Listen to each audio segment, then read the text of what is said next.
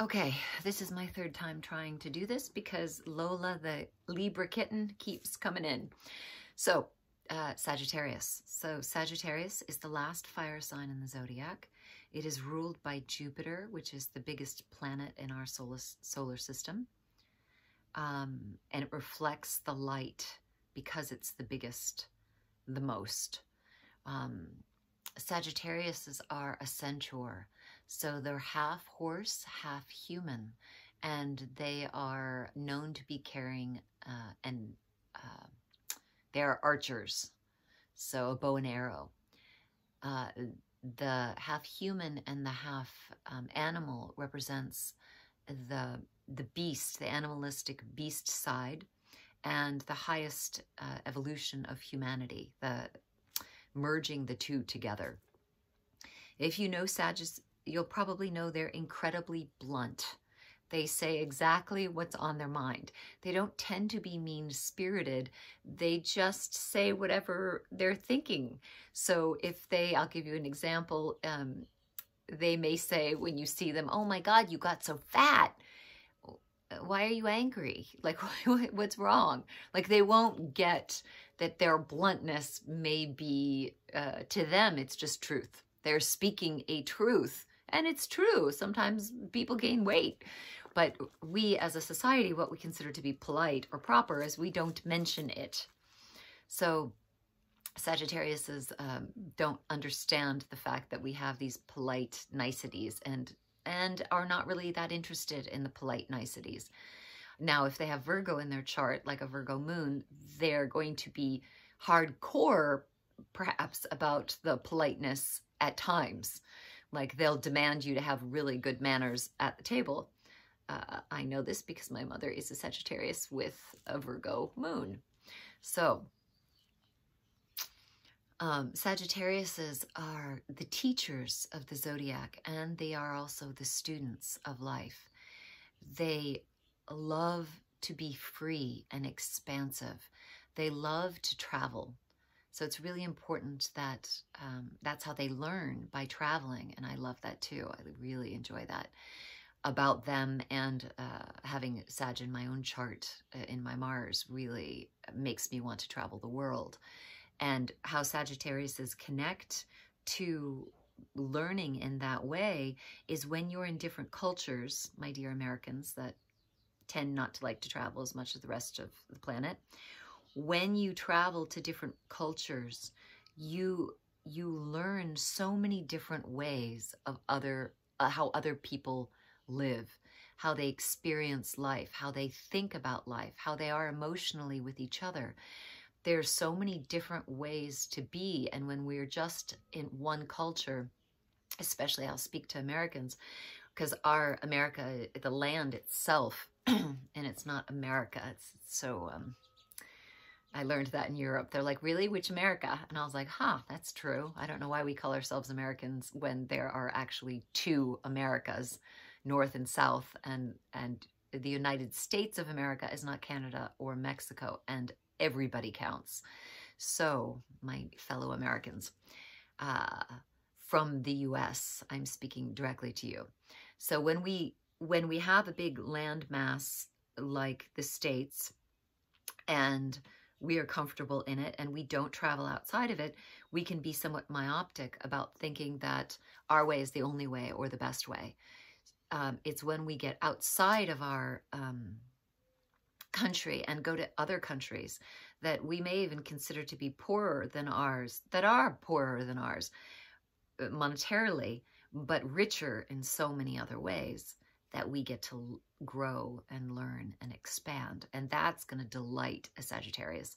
Sagittarius is all, are all about immersing themselves into different cultures because they learn, they pick up and learn how uh, the excitement, I mean, it's not even just the, it's everything. It's the foods, it's the language, it's the thought process, uh, how they are emotionally, these other people, these other countries, um, the colors that they see, um, the dialects, uh, there's just tremendous amount, the terrain, so Sagittarius are also very physical. they need to exercise. They need to move their bodies. Now, all human beings really should, but Sagittarius in particular um, really uh, like walkabouts, uh, running, um, getting their blood flowing. That helps clear their minds more. Um, their bluntness may be a little rough for you, um, but typically they don't mean to be necessarily hurtful. If they have other um, other uh, um, specific uh, astrological signs in their chart that took forever to get out of my mind into my mouth, into my tongue. Um, they could be, they can be harsh in their speech, like harsh and cruel if they have a, if I mix the signs with um, Virgo and Scorpio, then they, or even Aries, they could have a, a little bit more mm, punch, little, little ouch to their punch and on purpose. But typically Sagittarius are not, a, they're not interested in attacking. They don't, they're not interested in holding on to grudges. Um, they may be very fiery, somewhat like the Leo, where they'll get angry quickly, like the Aries, but they're not interested in, in holding on to it. They want to move on and, and explore what else there is. That's very much like a fire sign. What else, what else? Can I go through my brain? Um,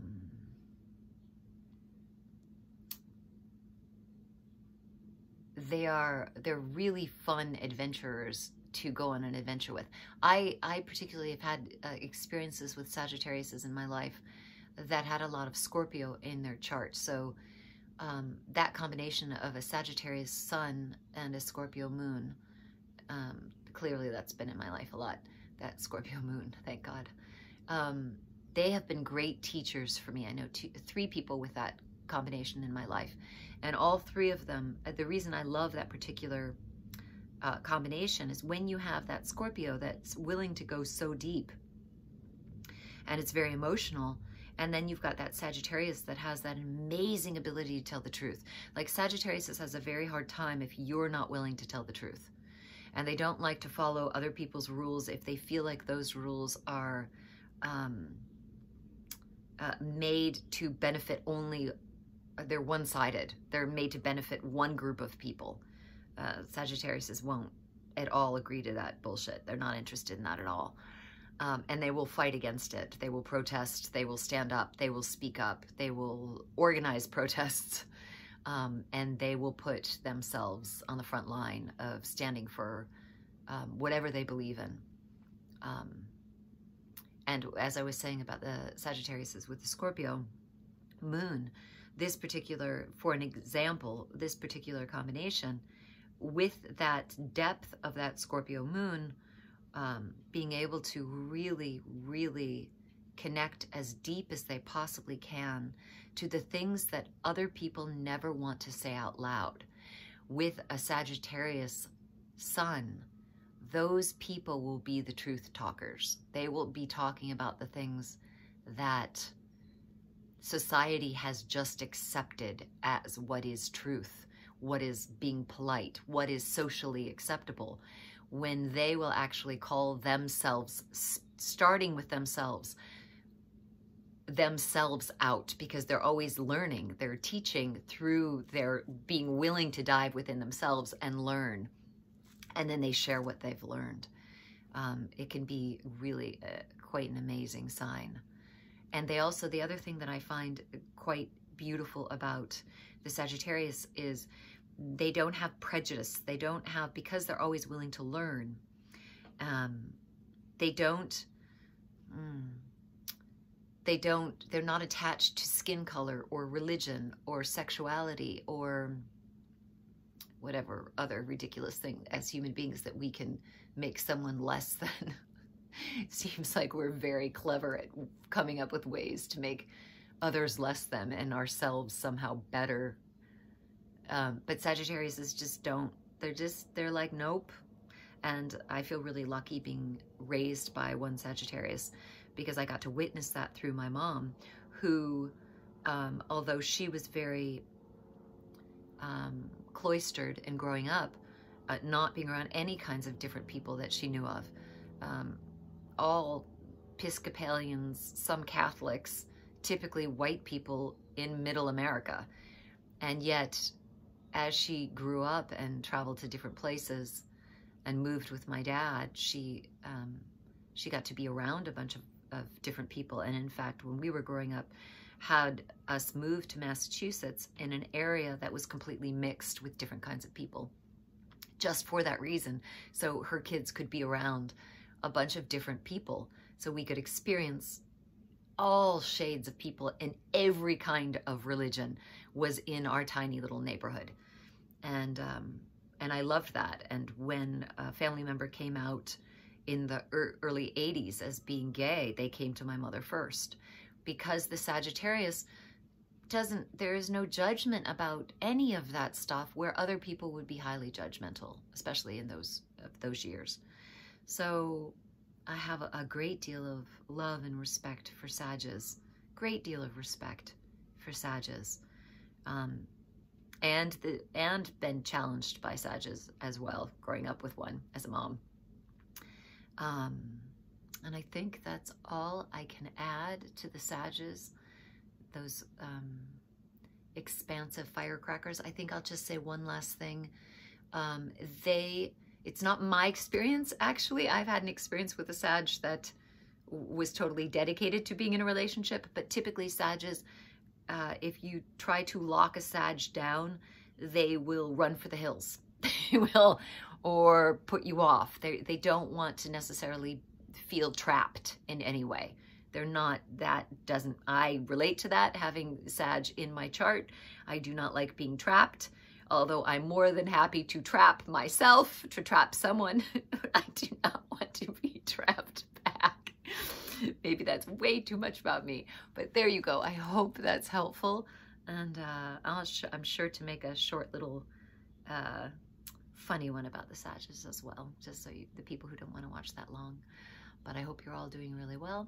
And um, that's it. So if you're interested in doing an astrological chart reading with me, you can go to hudsonleick.com and um, and go under astrological astrology, and it will give you a, it will come up with a calendar and days that are free. And um, yeah, I think that's all I have. Okay. Have a great day. Mm. Bye.